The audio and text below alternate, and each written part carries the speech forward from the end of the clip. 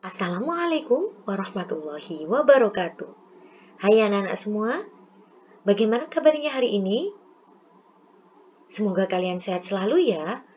Tentunya tetap semangat belajar.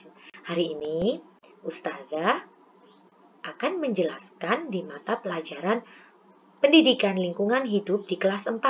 Materinya tentang lingkungan hidup. Sebelum Ustazah menjelaskan terkait dengan lingkungan hidup, Ustazah mau menjelaskan tentang tujuan pembelajaran kita kali ini. Yang pertama, siswa mampu menjelaskan konsep dari lingkungan hidup. Yang kedua, siswa mampu menyebutkan lingkungan hidup dan contoh-contohnya. Untuk yang pertama, definisi lingkungan. Lingkungan adalah segala sesuatu ciptaan Tuhan yang berada di sekitar kita. Jadi semua benda, semua yang berada di sekitar kita itu dinamakan lingkungan.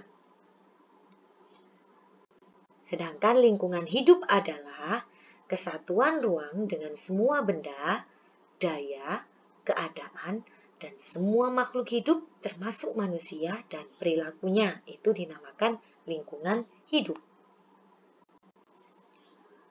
Ada dua komponen-komponen lingkungan hidup yang pertama, komponen biotik dan yang kedua, komponen abiotik.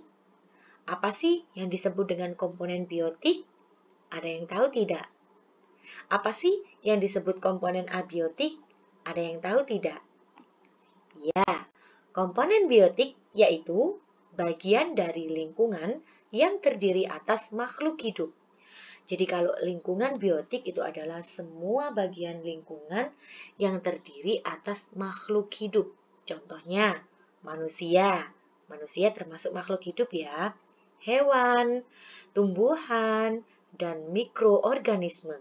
Itu semua contoh-contoh dari komponen lingkungan biotik. Sedangkan komponen abiotik yaitu bagian dari lingkungan yang terdiri atas makhluk tak hidup atau faktor alam. Contohnya tanah, air, batu, suhu, udara, cahaya, dan cuaca. Itu tadi contoh-contoh dari komponen abiotik.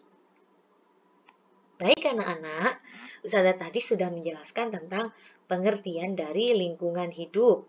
Dan yang kedua, komponen-komponen dari lingkungan. Akhir dari pembelajaran kali ini, Ustazah minta yang pertama, tulislah di buku tulis kalian tentang pengertian lingkungan hidup. Apa yang disebut dengan lingkungan hidup. Yang kedua, sebutkan macam-macam komponen lingkungan hidup beserta contohnya. Ditulis di buku tulis kalian masing-masing. Dan yang ketiga, jika sudah selesai menulis dan jika sudah selesai menonton video ini, jangan lupa menuliskan nama dan kelas kalian di kolom komentar video. Itu tadi materi yang bisa Ustazah sampaikan pada hari ini. Pesan dari Ustazah, Don't forget to study at home. Don't forget to pray on time. Don't forget to read Holy Quran. Obey your parents and be careful. Dan yang terakhir, jangan lupa jaga kesehatan.